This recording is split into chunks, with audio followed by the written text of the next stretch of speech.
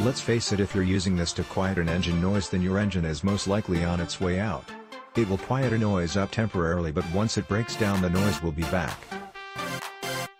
You can't replace worn metal with a liquid, it's just science.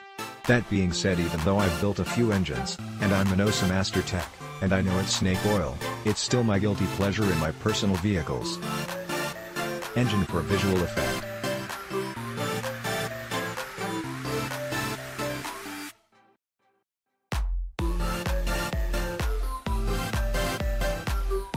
Am probably the biggest skeptic when it comes to a manufacturer making claims about their products.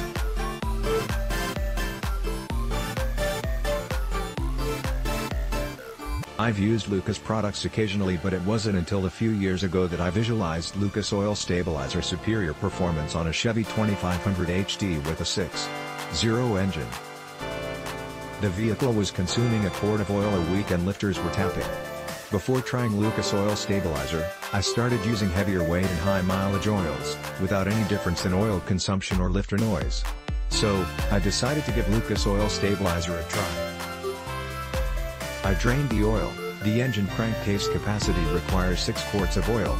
So, I added 5 quarts of oil and a 320Z bottle of Lucas Oil Stabilizer. I checked the oil weekly, after 4 weeks the oil level became 1 quart low. I added a quart of oil and 3, 400 miles later, the oil level was maybe a 1 quarter quart low. At the next oil change interval, I did not use Lucas Oil Stabilizer and added 6 quarts of engine oil only. At 3, 500 miles at the next oil change interval the engine had only consumed a 1 quarter, half quart of oil. So, Lucas is working by softening all the oil seals and preventing oil leakage slash seepage. I now use Lucas Oil Stabilizer at every other oil change interval and no longer do I have to carry around extra quarts of oil. Two years later and that Chevy 2500 HD has 268 OO miles on the odometer and still is not requiring oil to be added between oil change intervals. Lucas Oil Stabilizer is magic for engines that are consuming oil.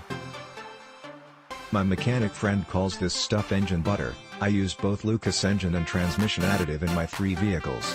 And this is the reason the 3 will make it to 200k. Click link in description for more reviews and best price.